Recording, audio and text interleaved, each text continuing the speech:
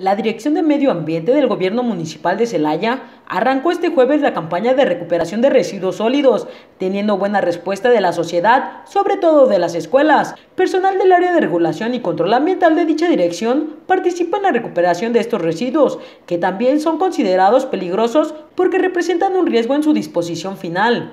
En este caso, se consideran peligrosos pilas, focos ahorradores, los toners de las computadoras y otros objetos que se estarán recibiendo de las 9 de la mañana hasta las 4 de la tarde de este viernes.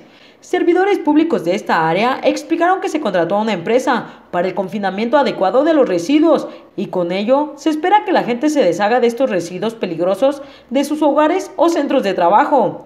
Finalmente cabe reiterar que será hasta el día viernes cuando se lleve a cabo la campaña de 9 de la mañana a 4 de la tarde en el estacionamiento del Auditorio Francisco Eduardo Tres Guerras y el Parque Bicentenario de esta ciudad. Informó para Vía Noticias Rosa Duarte.